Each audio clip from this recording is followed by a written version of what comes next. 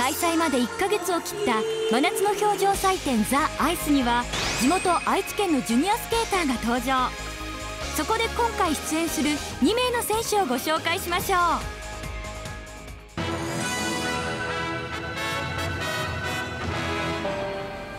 佐藤美優選手は美しいスケーティングと豊かな表現力が持ち味。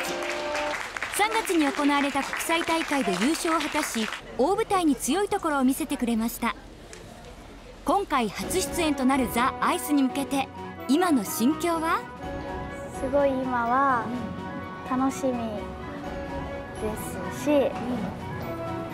憧れの選手とかがいっぱいいるのですごい楽しみにしてます。彼女の憧れは浅田真央選手。この映像は7年前エキシビションナンバーを滑る真央ちゃんの姿実は今回佐藤選手がザ・アイスで着る予定の衣装はこの時真央ちゃんが着ていたものなのです。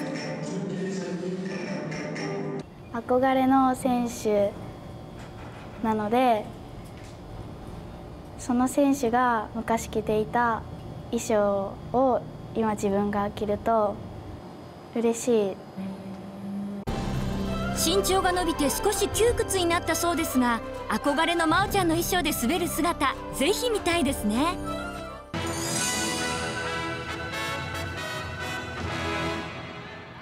今年1月に行われた高校総体。木原龍一選手は得意のジャンプを生かし見事優勝。高校生チャンピオンとなった実力者です。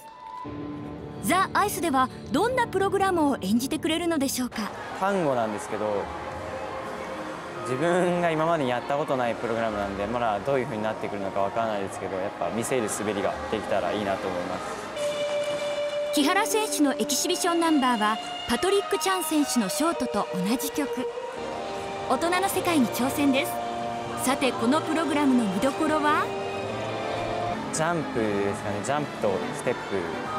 ジャンプの部分ではルッツと3回転3回転を入れるつもりでステップはやっぱ今までにないように頑張りたいですイメージとしては、はい、男性的な感じですか？それとも優しい感じなんですか？うん男性的な感じで。男っぽい俺を見てほしい。はい